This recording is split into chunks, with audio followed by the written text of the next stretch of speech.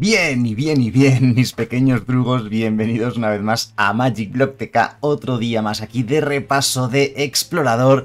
Creo que es el mejor formato de Magic Arena ahora mismo y por eso le estamos dando bastante importancia, sobre todo porque ahora mismo estándar pues está completamente en pausa, o sea, es decir, hasta el 9 de septiembre que salga Dominaria Unida, la nueva colección de Magic y, rote estándar, las cuatro colecciones más antiguas dejen de ser legales en estándar, entonces pegará un vuelco gigante el formato estándar y será en el que, en el que nos volquemos, ¿no? en el que nos centremos. Pero claro, ahora mismo durante el mes de agosto, ¿qué hacer? Alquimia e histórico descartados por mil razones que ya hemos explicado cien veces aquí en el canal. Así que lo que nos queda es explorador y teniendo en cuenta que ha salido una nueva, bueno, una nueva, la primera y única antología de explorador hasta el momento, con cartas como agrupar a los ancestros que crean todo un nuevo arquetipo dentro del formato, pues bueno, hay que probar estas barajas, hay que probar estas cartas. Agrupar a los ancestros. Bueno, el, mazo se llama. El mazo se llama Orthop Rally.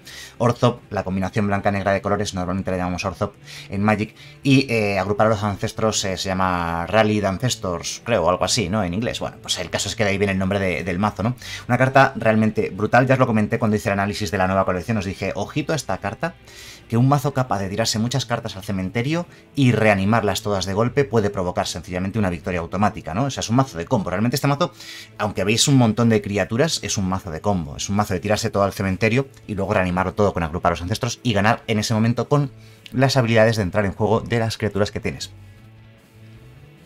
No lo juguéis en Best of 3. no lo juguéis al mejor de tres partidas.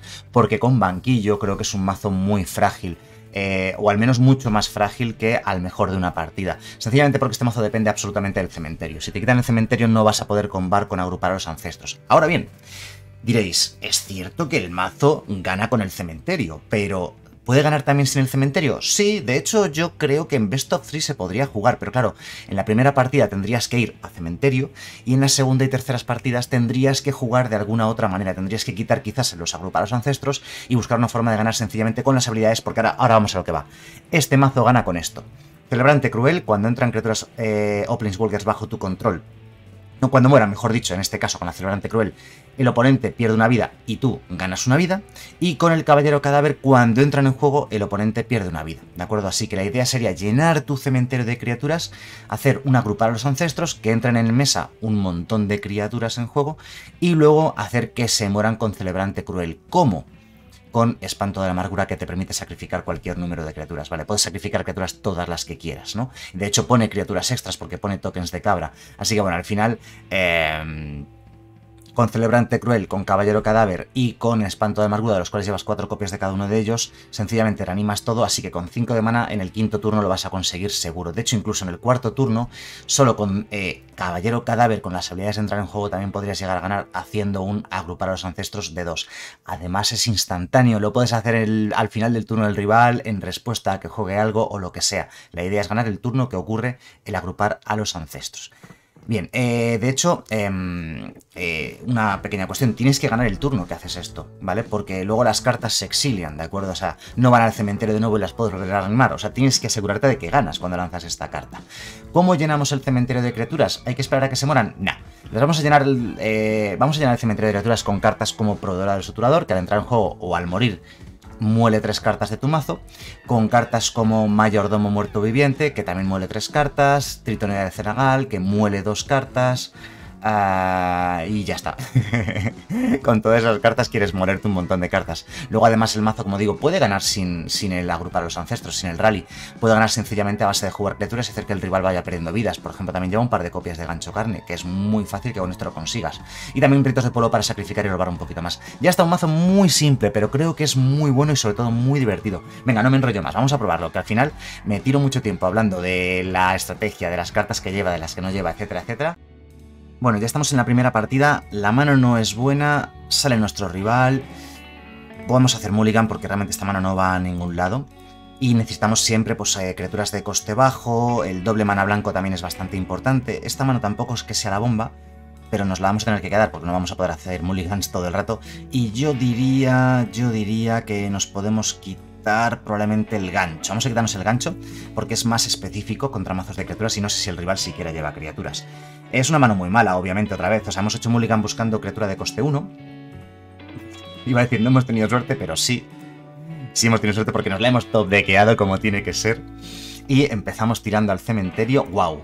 Tres criaturas. Por tanto, el Rally de Ancestors eh, empieza a cobrar fuerza, empieza a cobrar fuerza. Vale. Vamos a ver, tenemos ritos del pueblo para sacrificar la prodora del suturador, pero no la vamos a usar de momento. Vamos aquí a pagar dos vidas, por supuesto. Y voy a empezar con el... Yo creo con el caballero cadáver este turno. Para que a partir de aquí, siempre que juguemos criaturas o siempre que entren criaturas en juego bajo nuestro control, el rival empieza a perder vidas. Las fundas estas están chulísimas. Y el rival juega una verde blanca de ganar vidas. ¿Es un problema? Sí, es un problema. Vale, no vamos a matar la Valquiria justa, ¿eh? Yo aquí soy muy valiente. Vamos a empezar con esta celebrante cruel. Y... Voy a atacar. Voy a atacar solamente con la prodora del suturador. Yo creo que no la va a bloquear. Porque él no quiere que yo llene mi cementerio de cartas. Ah, pues sí, bloquea, sí. Bueno, en ese caso la vamos a sacrificar para robar dos cartas. yo quería sacrificarla, ¿vale? Ese era, era lo, lo más importante. De modo que el celebrante cruel sigue haciendo de las suyas. Y, vale, bien. No está mal. Eh, al cementerio todavía no ha ido ninguna de nuestras cartas claves. No ha ido el rally al cementerio. El rival va a ganar muchas vidas, es cierto. Pero es que creo que nosotros podemos eh, quitarle muchas más vidas de las que él puede ganar, ¿no? Vamos con proveedora del suturador. De nuevo. Con lo cual seguimos llenando el cementerio a lo loco. Bien, no ha ido rally al cementerio, eso son muy buenas noticias. Vamos a jugar tierra de turno, que entra ya girada. Y ahora bien, mayordomo o robamos con las disputas mortales. Yo creo que vamos a hacer el mayordomo y vamos a seguir moliendo. Y ya el siguiente turno... Ya el siguiente turno con las disputas mortales empezamos a robar en busca de los rallies, ¿no? Ponen ficha de tesoro, es decir, es como si costasen uno de maná. Fijaos que el cementerio que tenemos ahora mismo... Eh, tiene un montón de criaturas. El rival tiene 20 vidas, no, 23, 24. Sube 24 vidas, 25 vidas. Eh, quiero que mis criaturas se mueran, ¿vale? Ahora que me doy cuenta, es importante que mis criaturas se mueran. Por tanto, voy a jugar una segunda Celebrante Cruel y voy a atacar con todo. Atacamos con todo, con el deseo de que el rival nos bloquee las criaturas, ¿no? Vale, nos bloquea esa Celebrante Cruel, nos bloquea Proveedor al Suturador. Voy a sacrificar para robar con algo. Van a morir las dos criaturas, pero antes de que mueran... Vamos a sacrificar esta de aquí. Con lo cual hacemos mucho de ganar vida con las celebrantes crueles. Vale, robamos dos cartas a ver si cae el rally. Necesitamos el rally. Cayó el rally. Por tanto, el siguiente turno, en principio, si el rival no gana muchísimas, muchísimas vidas, deberíamos llegar a ganar la partida.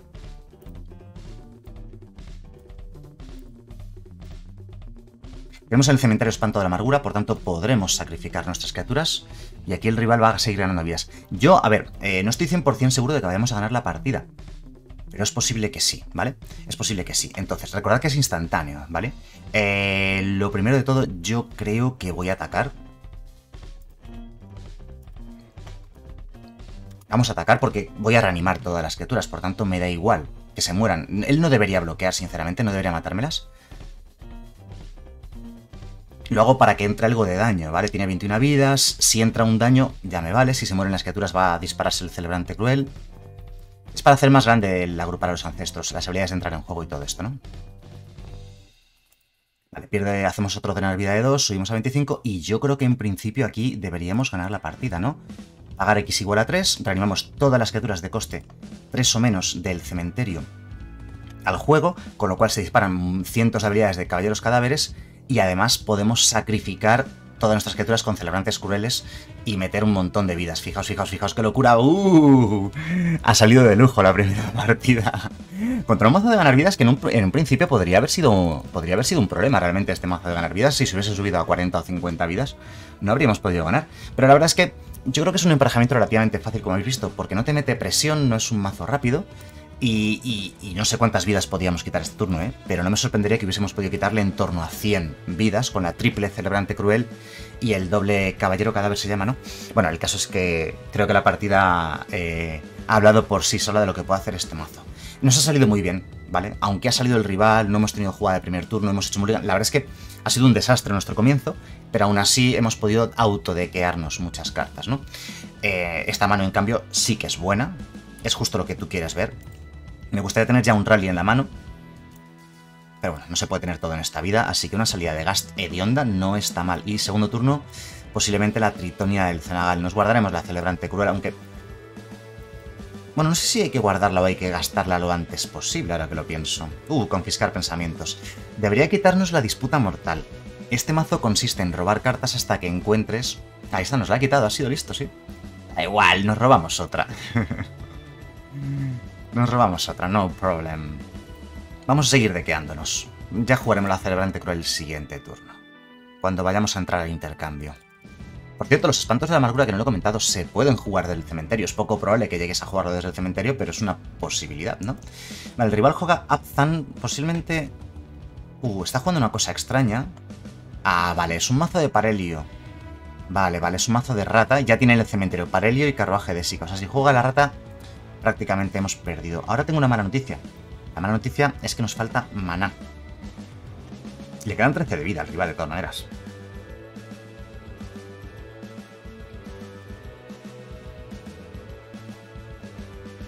Bueno, pues le quedan 10 de vida.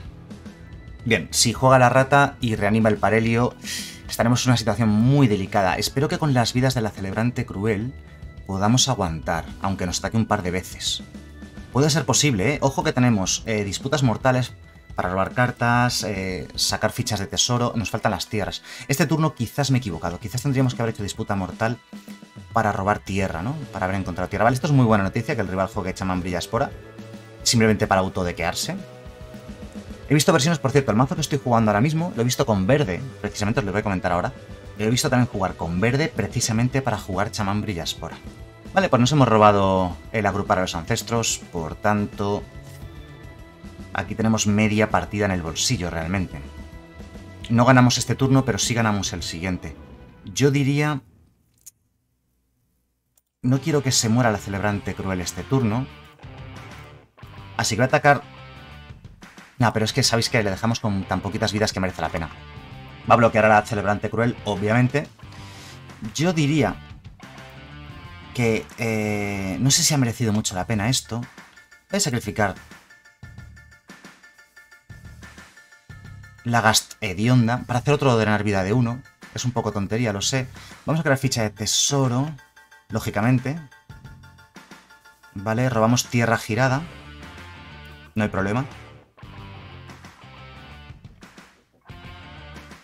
Podemos... Podría... Va, está bien. Tierra de turno. Creo que voy a hacer otra proveedora del suturador. Pagamos automáticamente. Bien, y el siguiente turno, pase lo que pase, vamos a poder hacer una grupa a los ancestros de dos, con lo cual reanimaríamos un montón de criaturas que no tienen habilidades de entrar en juego, pero mi intención es que se mueran. Si robamos tier, es que aquí está la duda, ¿no? Si robamos la quinta, el quinto generador de mana, con la quinta tierra ya podríamos hacer agrupar los ancestros de 3, reanimar espantos de la amargura. El rival de todas maneras le ha salido una partida horrenda, como podéis ver. Es un mazo de rata, de reanimar vehículos del cementerio. Y aunque ha robado bastante, no le ha salido la rata. No la tiene ni en el cementerio e intuyo que tampoco en mano, porque la habría jugado, ¿no? Así que con 6 de vida me parece a mí que la partida se le ha ido al hoyo. Em, los dos mazos son similares, ¿vale? El mazo del rival y nuestro mazo son mazos de cementerio.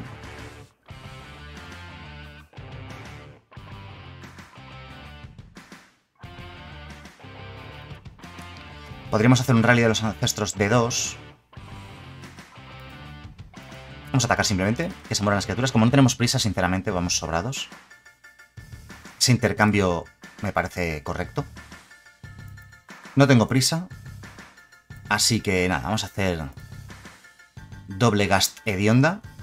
Ahí me he equivocado, ¿eh? ¿eh? No quería hacer la segunda. O sea, no me he dado cuenta de que no teníamos doble mana negro.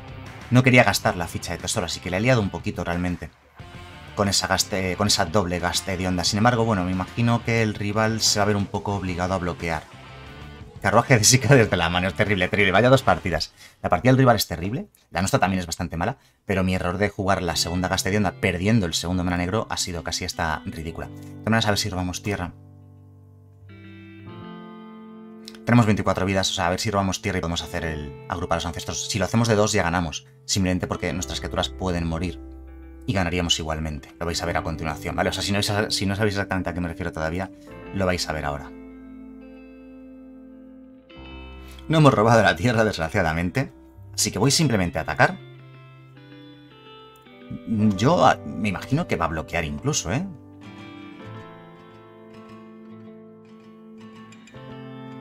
Vale. Vale, ya con esto ya sí que ganamos, porque obtenemos las fichas de tesoro que tanto necesitábamos.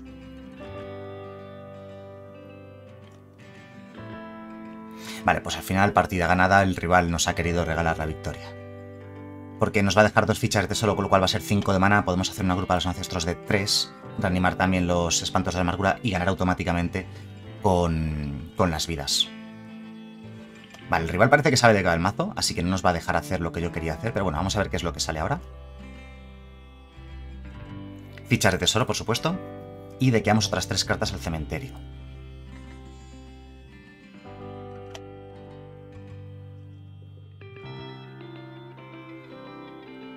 Bien, entonces, em, no ganamos, no ganamos porque no tenemos el caballero. Así que simplemente damos turno y cuando el rival ataque, podemos reanimar nuestras criaturas del cementerio. Eh, podríamos habernos arriesgado un poquito a hacer de la sutura otra vez. No me lo puedo creer que el rival no nos haya ganado esta partida. Entonces, si ahora el rival ataca, simplemente reanimamos todas las cartas del cementerio. Todos los de coste 2 o menos, bloqueamos, se mueren nuestras criaturas y ganamos la partida. Así de sencillo. Además el rival nos ayuda porque es muy majo, cada jugador muere tres cartas, a ver si cae el caballero. No. Tenemos cuatro celebrantes crueles en el cementerio, así que si muere cualquiera de nuestras criaturas ya hemos ganado la partida. Partidas terribles, la verdad es que eh, no, es lo que yo esperaba, esperaba algo más molón, sinceramente lo siento, pido disculpas por esta segunda partida, que los dos mazos han fallado, tanto el suyo como el nuestro. Venga, vamos a ello. Vamos a hacerlo. Lo hacemos ya para acabar ya la partida, ¿no? Reunimos todas las criaturas eh, de coste 2 o menos y bloqueamos con ellas a nuestro rival. Ahí sí que ha ido ya un caballero al cementerio.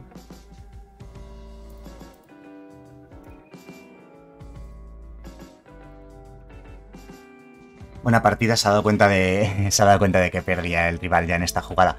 Terrible por su parte la partida, pero vamos, no ha sido culpa suya ni culpa mía, ha sido el, azar, ¿no? A veces en Magic pasa eso, ay, es que no robo tierras, ay, es que robo demasiadas tierras, ay, que no me he robado la rata. ¿Nos habría ganado si hubiese robado la rata? Yo creo que sí. Yo creo que sí, porque no sé, nos ha salido muy muy lento y muy mal la partida realmente, ¿no? El comienzo era bueno, pero luego no nos ha salido el maná ni el rally. El rally era lo importante, tampoco ha salido. Ah, no, el rally sí que ha salido, lo que han salido son las tierras suficientes para poder dispararlo jugarlo. Y además no teníamos el caballero cadáveres en el cementerio, que era la clave para las habilidades de entrar en juego. Eh, nos ha faltado un mana. No, también es culpa mía, ¿no? Por la ficha de tesoro que sacrifica la tonto. ¡Ojo! Salimos nosotros y tenemos una mano buena. Nos falta el rally. Vale, nos falta el rally. Pero, a ver, lo he comentado antes. Este es un mazo de combo de cementerio.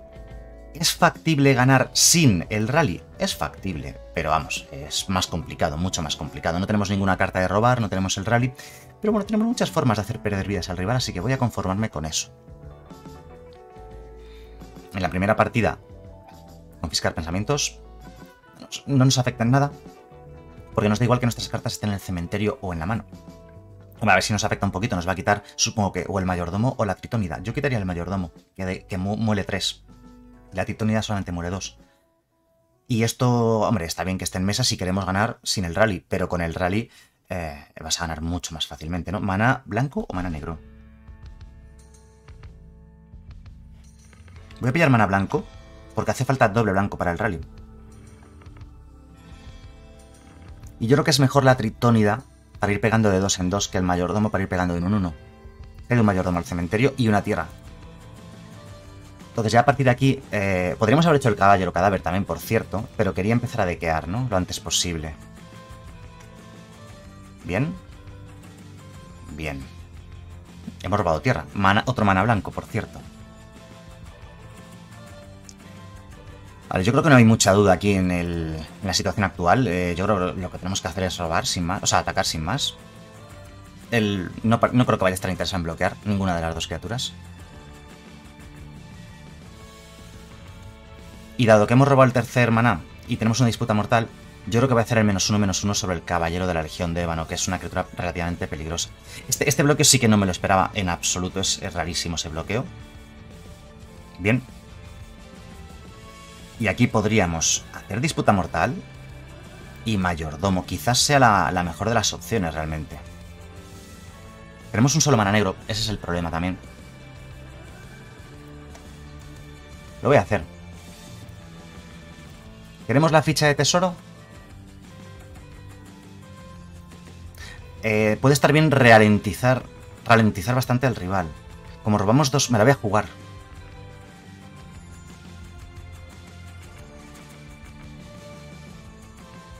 Sabéis que no ralentizamos nada a un 2-1. Vamos a poner ficha de tesoro. O sea, no ralentizamos nada por matar a un 2-1. Prefiero la ficha de tesoro. Ahí está. Y ahora sí, eh, podemos hacer... Proveedor del suturador.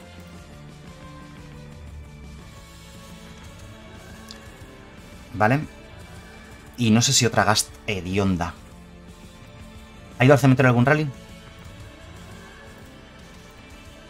No tenemos doble mana negro, pero sí tenemos el doble blanco. No he ido ningún rally al cementerio, ¿vale? O sea que todavía estamos buscándolo. El caballero cadáver lleva desde el principio en la mano. Lo sé, sé que lo podríamos haber jugado hace mucho rato. Él no va a atacar, supongo. Sí, ataca, sí. Vale. Quiero mana. Quiero el segundo mana negro para poder hacer este doble hechizo. Y seguir jugando nuestra partida. Vale, pues eh, el rival está jugando, por cierto, que no lo he comentado, la Mono Black agro de confiscar pensamientos, empujón fatal, etcétera, etcétera. Un mazo muy bueno. Ya hemos robado el mana negro, ¿vale? Así que nada, fácil. Eh, primero voy a atacar, a ver si el rival quiere hacer algo. Pues ya tenemos todo el combo, digamos. Ahora mismo ya simplemente robamos el rally y ganamos. Y el rival, por algún extraño motivo, no está metiendo absolutamente nada de presión, así que vamos bastante sobrados, ¿no? Es posible que juguemos incluso el espanto de la amargura desde el cementerio. Exiliando tierras instantáneos podemos hacerlo. Bueno, tenemos media partida en el bolsillo, yo diría, ¿eh? Nos mata el, el caballero... ¿Cadáver se llama? ¿O me lo he inventado antes? No, sí, caballero cadáver. No importa. ¡Uy! Se fue un rally al cementerio. ¡Ah, qué rabia! Lo necesitábamos. Ah, por cierto, una de las ventajas del espanto de la amargura es que tiene adivinar, claro, no lo había pensado, no lo había comentado. Yo lo había pensado, pero no lo había comentado. Y es que podemos profundizar en el mazo simplemente sacrificando nuestras criaturas. De hecho, hay un pequeño combo entre el mayordomo y el espanto de la amargura. Un ganchito. Podemos hacer gancho de tres ahora mismo y reventar la mesa. No lo vamos a hacer porque no nos corre tanta prisa. Voy a Voy a proceder con espanto de la amargura. Una, dos, tres, cuatro. Son cuatro, son cuatro. No me acordaba, hace mucho tiempo que no jugaba esta carta. Vale, exiliamos cuatro cartas del cementerio, que no necesitamos. Jugamos un 5-4 poca broma y pasamos turno. No vamos ni a atacar porque tampoco quiero darle vidas con el jinete homicida. Si ataca o bloquea, o sea, si ataca, podemos bloquear y sacrificar la criatura en respuesta con el espanto de la amargura. Vale, entonces ahora mismo ya, con todas las criaturas que tenemos en mesa, lo único que tenemos que hacer es buscar eh, un rally de estos y ganar la partida. Hemos tenido que pagar 5 por el espanto de la amargura, un poquito caro, pero bueno, ¿qué le vamos a hacer? La vida es dura. Vale, vamos a sacrificar, venga, va. Sacrificamos la cabra. ¿Qué buscamos? Buscamos el rally, ¿no? Supongo.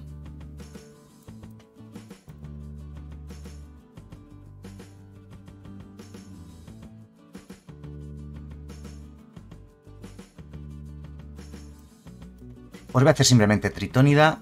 Espero que no caiga otro rally ahora al cementerio, me dolería en el alma. Bien, hemos tenido suerte.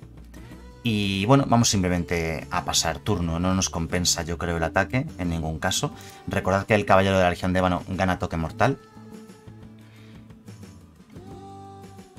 Y, uy, nos mata una tritonia, qué lástima. Vamos a sacrificarla, adivinamos uno tierra, que sería la quinta tierra, que no estaría mal para hacer un gancho de tres. Con un gancho de tres reventamos la mesa y ni siquiera moriría el espanto de la amargura. Quizás deberíamos habernos guardado la tierra para poder hacer el gancho. Gancho de tres, eh, hacemos saltar la mesa por los aires y el espanto ni siquiera muere. Mira, pues ahora, ahora sí que me arrepiento de no haberme quedado esa tierra. Bueno, entraba girada, vale, es cierto que entraba girada, o sea que no era la mejor de las opciones. Vale, primer ataque por parte del rival, no podemos bloquear, nos comemos tres. ¿Elegirá sacrificar criatura a cada jugador? Nos viene de lujo que elija eso, la verdad. ¿No? Nos ha hecho descartar carta a cada jugador. Vale, era lógico porque él no tenía cartas en mano. Vamos a sacrificar la prueba del suplador, que es lo que viene a continuación. Primero se mueren tres cartas. Una, dos, tres. Bien. Y tierra, que ya no quiero. Ah, venga, vamos a sacrificar el mayordomo.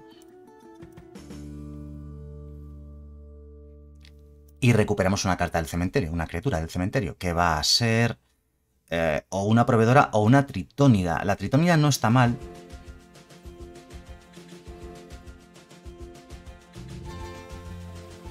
Porque además nos da un par de vidas para seguir aguantando y de a dos. Ya sé que de queda mucho menos. De queda mucho menos, pero es una bloqueadora consistente, ¿no? Podríamos atacar realmente.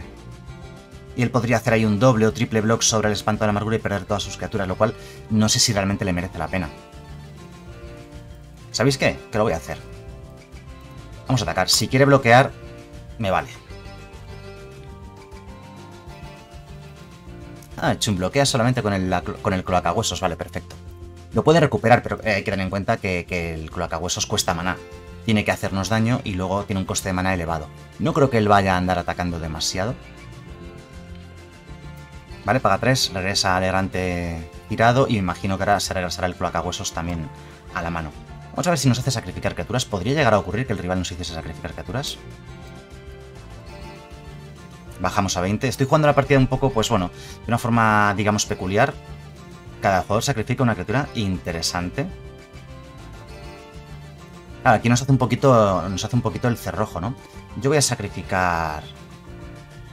La tritonía del Zanagal.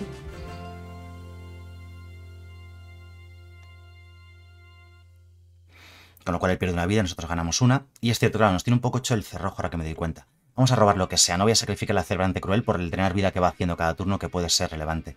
Y creo que lo de atacar se va a acabar, ¿no? Se lo pone en mano, el huesos. Podría habernos hecho, habernos hecho Vale. No está mal. Pues seguimos con esto. ¿Qué creéis? ¿Deberíamos atacar con el espanto de la amargura?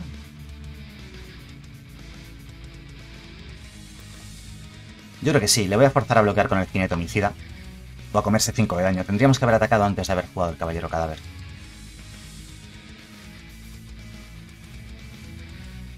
Vale, él gana aquí dos vidas.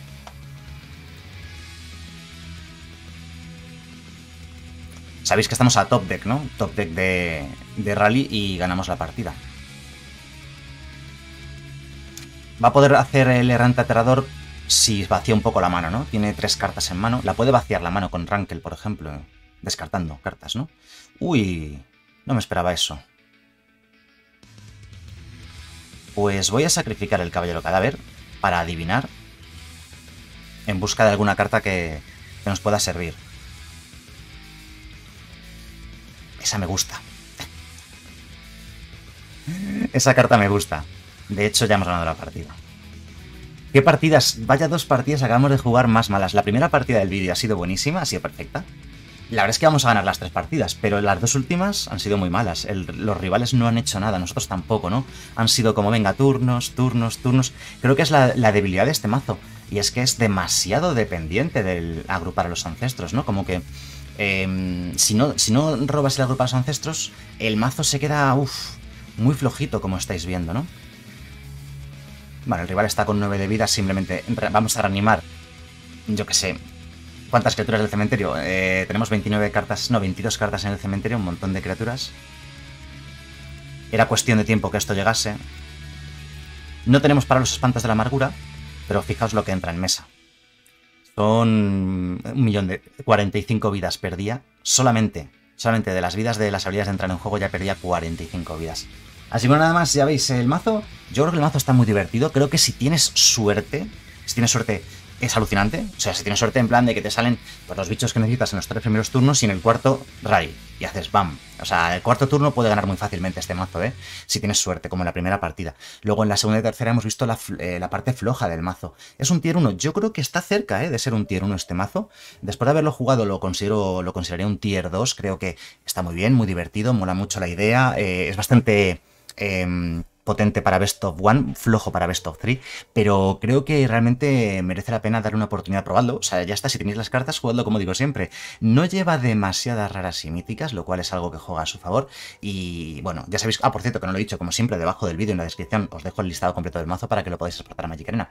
Así que bueno, nada más, espero que el vídeo os haya gustado y nos vemos en el siguiente. Hasta luego.